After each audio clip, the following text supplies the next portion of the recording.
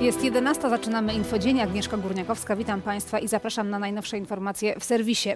Odnaleziono ciało 14-letniego chłopca, który wczoraj zaginął podczas kąpieli w Odrze w Zachodniopomorskiem. Nastolatek pływał po rzece na kawałku styropianu w okolicy Widuchowej. Według relacji świadków w pewnym momencie zniknął pod wodą. Chłopca przez trzy godziny szukali policjanci i strażacy z łodziami. Poszukiwania zostały jednak przerwane ze, ze względu na złe warunki atmosferyczne. To jedno z pierwszych utonięć w tym sezonie. Policja i straż apelują o rozsądek i kąpiele jedynie w, w miejscach do tego przeznaczonych.